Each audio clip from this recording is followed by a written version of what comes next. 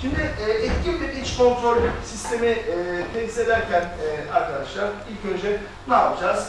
Görevlerin ayrılığı ilkesine aykırı hareket etmeyeceğiz. Yani e, sonuçta demin verdiğim örnekte e, bir e, muhasebe elemanı siz hem parayı yönet, parayı e, parayı da hem de e, kayıt yap görevlerseniz orada e, suistimal ile veya bir satın alma demin verdiğim bir satın alma yöneticisine bir e, ödeme fonksiyonu verirseniz geçmiş olsun orada artık e, adam atalı üstlerin de geçebilir. Onun için e, ön koşullar hani organizasyon şemamızı görevlerin ayrılığı ilkesini tesis etmemiz lazım. Etkin bir organizasyon şeması olmazsa olmaz. E, dediğim gibi görev tanımları oluşturulmuş, kimin kime bağlı olacağı, işte bazı işletmeler var ki yeni büyüyen, yeni yapılan e, işletmeler. Adamlar her ayında bir işte bir e, kişi istihdam ediyorlar. Diye bir işte bir bölüm açıyorlar. Hadi hop organizasyon şeması değiştir. E tabi o da çok etkin olmuyor. Onun için sağlam bir organizasyon e, yapısının olması etkin bir iç kontrolün sorumludur. Tabii ki eğer bir işletmede e, etkin çalışan bir iç denetim departmanı varsa o işletmede etkin bir iç kontrol e, metodolojisinden e, bahsedebiliriz. Niye? Çünkü patron adına bu işin e, profesyonellerinden patron patronluyor. Kardeşim diyor ki git benim adıma denetim yap, iç denetim yap ve bana raporla. Bu da aslında e, iç denetimin önemli bir e, sacaya. Bir de e, tabii ki e, bir işletmede etkin bir muhasebe sistemi, muhasebe raporlama sistemi varsa orada da e, etkin bir iç kontrol e, sisteminden ifade edebiliyoruz. Şimdi bu kadar e, bir e, teknik bilgi verdikten sonra e, bir işletmede özellikle kobi e, işletmelerinde bir iç denetim çalışması nasıl yapılır ondan bahsedeyim. İsterseniz buraya kadar e, sorunuz varsa alabilirim veya katkı, yani geç sonra da şey yapabiliriz. Şimdi bunun e, değerli arkadaşlar, özellikle e, iç denetim e, bir süreç, bir e, metodoloji. Bunun için e, iç denetimi e, tesis etmek için patrona çok çok iyi anlatmanız lazım. Patronu ikna etmeniz lazım. E, işte çünkü patron buna inanacak ki şey yapsın. Çünkü ne yapacak adam? Belli bir e, kişi istihdam edecek.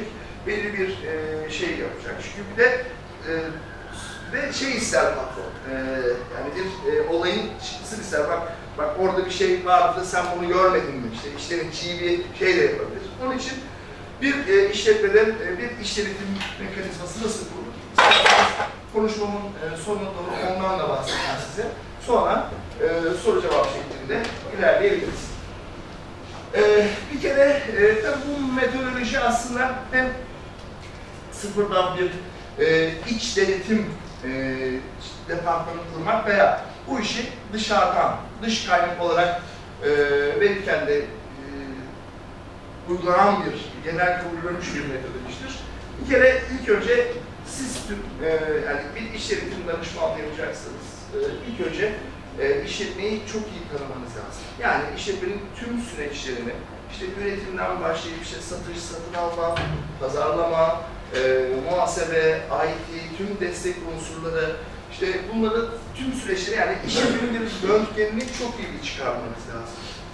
Ki orada zaten e, sistemin aksiyan yönlerini siz e, tespit, tespit ediyorsunuz. Ve e, burada zaten siz bir mevcut bir iç kontrol sistemine baktınız. Sonra ne yaptınız arkadaşlar? Mevcut iç kontrol e, sistemini işte bir röntgen olarak düşünün veya bir MR olarak düşünün, işletmenin MR olarak düşünün. Bunu yönetim amaçlarına göre yeniden düzenlemek. Diyorsunuz kardeşim bak burada burada bu var. Bunu nasıl dizayn edelim? Bir kere orada zaten yönetimden bir e, feedback alıyorsunuz. En önemli bir iç kontrol, eğer bir işletmede hiç e, prosedürler yoksa, e, sıfırdan artık bir prosedür oluşturulması lazım. İşte biz buna bölüm kitapçığı da diyebiliyoruz. Prosedür diyoruz. Yani işletme içi anayasa diyebiliriz. Varsa bunun işletmenin amacına göre güncelleştirilmesi. Ki zaten hani iç kontrol sistemi e, değerli meslektaşlar e, şeydir, e, işletmenin büyümesiyle e, etkinliğini kaybeder. Siz ne yaparsınız? o e, mevcut iç kontrol sistemi daha etkinleştirmek için ilave tedbirler alırsınız. Yani hiç yoksa sıfırdan bir iç kontrol e, sistemi e, tesis edersiniz. Mevcut e, prosedürlerin incelenmesi ve güncellenmesi veya yoksa sıfırdan yazılması. Ki e, buna e, işte demin burada da dört numaralı maddede de ifade ettiğim gibi görev tanımları işte yani çok çok önemli. Yani bir öyle işletmeler var ki işte sağlık çayıran Emrah Bey'le hiç görev tanımıyor veya bir kişi istihdam ediliyor, o kişinin e, niteliklerine göre görev tanımı yazılıyor e, ki zaten biz amaca göre e, yani işin amacına göre bir personel istihdam edeceksek bir görev tanımlarını e, oluşturmak e, zorundayız. Ve incelemeler neticesinde bir e, risk haritası. Demin de ifade ettiğim gibi e, riskleri ilk önce ne yapıyoruz? Olma olasılığına ve etkisine göre bir ağırlık vererek riskleri biz üçe ayırıyoruz. E, belli bir e, puanına kadar olan riskleri yeşil alan dediğimiz güvenilir riskler veya yönetilebilir riskler deyip hiçbir aksiyon almasak da olur diyebiliyoruz. Veya e, işte belli bir ağırlık ve olma olasılığı etkiye göre diyoruz ki bu orta derecede bir risktir. Mutlaka aksiyon almasak iyi olur. Bu e, patrona e, öneriyoruz. Veya diyoruz ki bu riskler e, kesinlikle kırmızı bir alandır, yüksek derecede risktir. Kardeşim mutlaka mutlaka yüzde yüz bir aksiyon almak zorundasın diyoruz e, patrona. Ve bir risk haritası e, çıkartıyoruz. Tabii ki her bir e, tüm denetim süreçlerinde her bir denetim sonucunda bir rapor olacak. Şimdi bağımsız denetimde de var zaten biliyorsunuz. Ki iç denetim çalışmalarına bir e, rapor olarak sunulur ki zaten bağımsız denetim raporu kısa bir rapordur ama iç denetim raporları uzun raporlardır. Çünkü siz oradaki tespit ettiğiniz tüm hususları e, ifade ediyorsunuz. Ve bunları bir rapor halinde e, yönetime sunuyoruz ve tabii ki belli bir e, program dahilinde de e, denetimlerimize, iş denetim çalışmalarımıza devam ediyoruz. Yani burada genellikle özellikle e, çoğumuzun e, müşteri portföy olarak KOBİ ölçekli işletmelerle e, hizmet veriyoruz. Bu da KOBİ'de, KOBİ altı işletmelerde bir iç denetim metodolojisinin kurulması ile ilgili. Evet, benim e, paylaşacaklarım bu kadar. Tabii ki konu çok geniş. E, yani sorularınız varsa soru alabilirim. E, tabii ki alacağız. Burada e, bu işin varız. Ben başlayayım. Lütfen, lütfen çok memnunum. Şimdi e, bu denetimde şarta bağlı olaylar var. Evet. Başımıza şöyle tek piyasada kullanılmıyor. Fakat bir mükellefim büyük bir yatırım yapacaktı. Evet. Yabancı sermaye hissesini alacaktı. Sözleşmeyi ben okudum. Gidip avukatlarla toplantı yaptım. Sözleşmede 3-4 yere şarta bağlı olay geçiyor. Evet. Tabii avukat işte siz okudunuz mu? Dedim ben hukukçu değilim ama hani bir mali okudum ama şarta bağlı olaylara çok dikkatli çekti dedim. Bana dedi ki nedir o? Tabii ben de kendime göre anlattım ama dedim yani siz yazdıysanız herhalde biliyorsunuz falan. Avukatla şey yapıyorsun. Evet avukatla. Evet. Fakat sonra biz şarta bağlı olaylardan anlaşamadık yatırımı aldık. Çünkü bize şöyle derler, şarta bağlı bütün olayları siz kabul edin. Evet. Ee, tabii ki belki bizim ben işte böyle bir arkadaşımın okumuş aslında bir şarta bağlı olayı biraz anlatınız. Evet. Şarta bağlı olaylar nelerdir? Evet.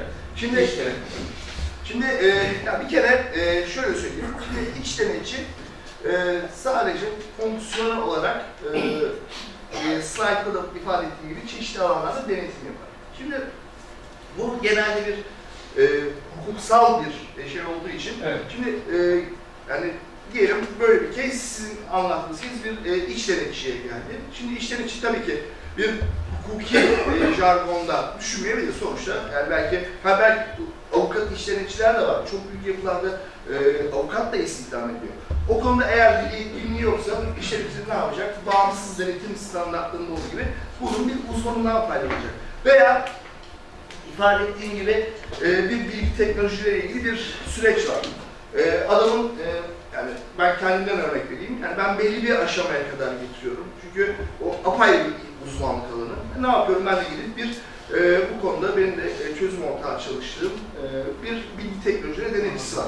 Yani orada da yani denetçi, iç denetçi böyle bir case geldiyse kendisi yorumlayacak. O proje onu aşıyorsa e, ondan sonra o da bir danışmandan faydalanacak. aynı bağımsız denetim metodolojisinde e, olabilir. Ve oradaki şey şu yani ben tabii incelemesinde yönetim kurulu ve karar defterlerinde alınmamış kararların dışında yönetim kurulunun habersiz imza attığı sözleşmeler. Hı. Heh. Çünkü orada Orada risk mesela. Tabii risk çok oluşu risk Ve tabii. biz o yatırımı yani şarta bağlı olayların temel yapısı bu. Diyor ki yönetim kurulu karar defterinde olmayan, herkesin görmediği, siz gittiğiniz şirketi risk altına soktunuz, imza Evet. attınız. Bu şarta bağlı olayın birinci maddesidir. Evet. Ve biz firmayı, firma 37 milyon euroluk bir iş. Ve biz bir firmayı o şarta bağlı olaylardan dolayı alamayız. Ve bütün şarta yani bütün risklerin hepsini şarta bağlı olayların altına yazmışlar. İşte biz orada itiraz ettik. Onun için dedim ben belki arkadaşlarına haber verdim. Zorlayıcı bir sebeptir hocam peki. Tabii. Hani İş yönetimi için. Ya tabii şimdi iş denetici eğer, şimdi bakın yani iş denetici yani risk varsa yani en ufak A'dan Z'ye bir risk varsa onu Bir örnek gösterseniz hocam. Ne gibi? Sözleşme mesela. Ha, şey, Sahaya insek daha iyi hocam. Ee, mesela diyelim şimdi bununla ilgili e, denetim yapıyorum. Yani ben işte de, yıllık denetim programında işte atıyorum sözleşmeleri, işte belli bir tutarda bir sözleşmenin uygunluğuna bakacak. İşte bunu tespit etti. Bunun riskini şey yaptı ki ben şimdi bununla ilgili bir sözleşmeyle ilgili bir örnek vereceğim siz e, şey dediniz diye. Varsa bir risk ne yapacak? Bunu direkt olarak e, hatta yönetim kurulu tarafından yapılmış bir muazza da varsa işte işlenici objektiflik kriterine göre ne yapacak? Bunu işte e, yönetim kuruluna yazacak. Raporunda belirtecek. Şimdi şöyle bir örnek vereyim. Yani bu e, şarta bağlı olay e, Yok genelde de o zaman ben diyelim bir sahaya ilerledim. Ben bir kobiyim. Sizinle anlaşma yaptım. Siz Evet. eğer efendim denetim iş denetimi yapacaksınız. evet. O sistemi kurarken ilk başta ne yapıyorsunuz? Neler dikkat ediyorsunuz? Metodolojiyi anlattım zaten. Ee, şöyle e, söyleyeyim. Şimdi e, daha önce dedim ki e, siz işte ya bir iş denetim yaptıralım. Bakalım durumumuz ne? Evet. Ondan sonra e, dediniz ki ben buna yani yani bir e, devamlı bir personel e, şey yapmayacağım. Çünkü onun da belli bir e, Evet. maaş şeysi var. İşte e, paketi var, işte maaş yükümlülüğü var. Ben bunun bir danışmanlığını alacağım dediniz. İşte gittiniz dışarıdan bir e, şeyle yaptınız. İşte genelde iki metodoloji var. Birincisi